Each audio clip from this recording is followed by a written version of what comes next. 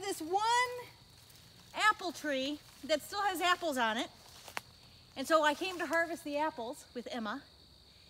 But it turns out that the reason that there's apples here is because it is surrounded by this dense thicket of pokey everything.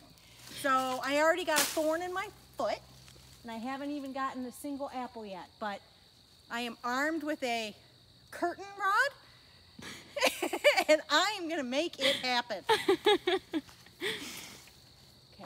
you think I should, can I just whack them? Ooh, that worked. Oh, but now I have to find them.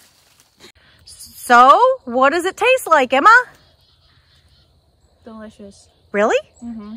It's not tart at all. Oh, I'm so glad we came out here and fought the raspberries.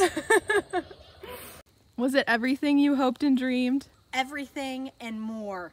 I have to go pick uh, thorns out of my feet and my fingers now.